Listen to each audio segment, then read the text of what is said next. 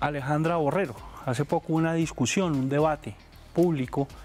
Alejandra, muy, muy buena actriz. ¿Ya limaron asperezas? No.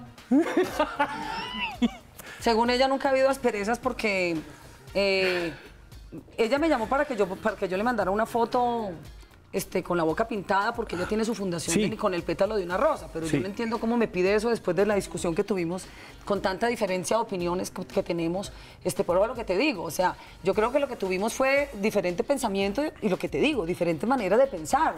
Entonces, si uno no pertenece a ciertas minorías, ya lo tachan a uno de que está en contra, y no es así. Me parece una gran actriz, gran amiga, simpatiquísima, con un sentido del humor maravilloso, pero ese día no tuvo sentido del humor y fue, fue fuerte.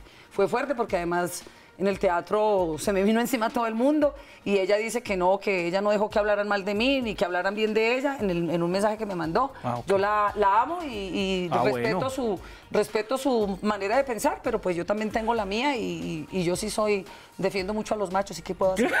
Gracias, Amparo. Gracias. A los machos, sí. Bueno, A eh, los hombres, pues. claro. A los señores, a los caballeros, porque yo te digo, el feminismo está acabando con la caballerosidad.